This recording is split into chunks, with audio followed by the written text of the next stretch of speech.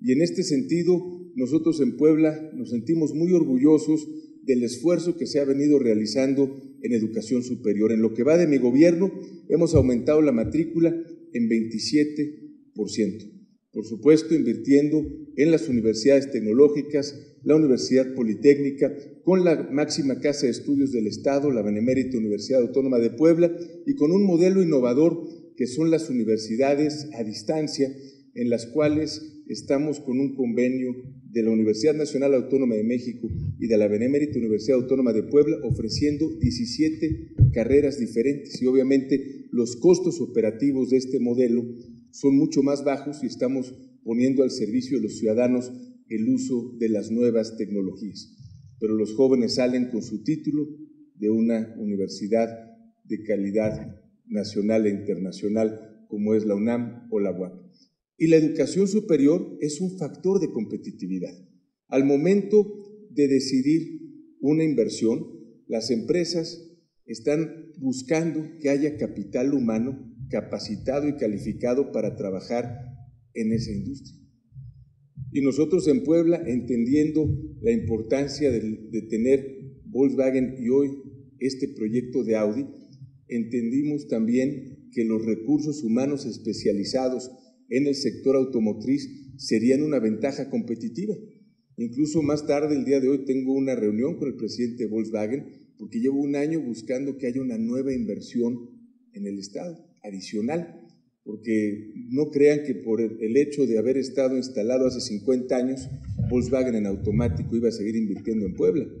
Les comparto que en el 2010, antes de que iniciara mi administración, la Volkswagen tomó la decisión de invertir 500 millones de dólares en su planta de motores en Silao, Guanajuato.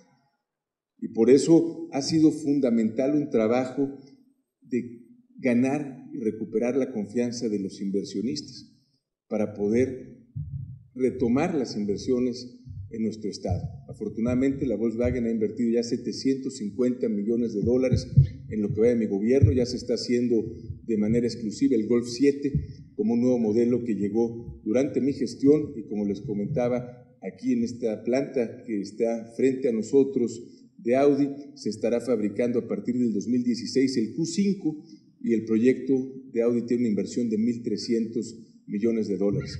Pero por supuesto se ha tenido que acompañar por un gran compromiso del Estado.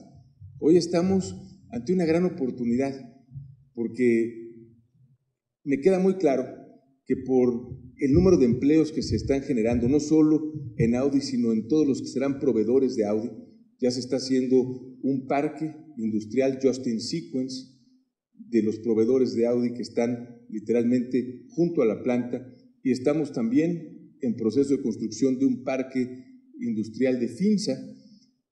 Por el volumen de empleos generado, a mí me queda muy claro que en 15 años aquí vamos a tener la segunda ciudad más poblada del estado de Puebla.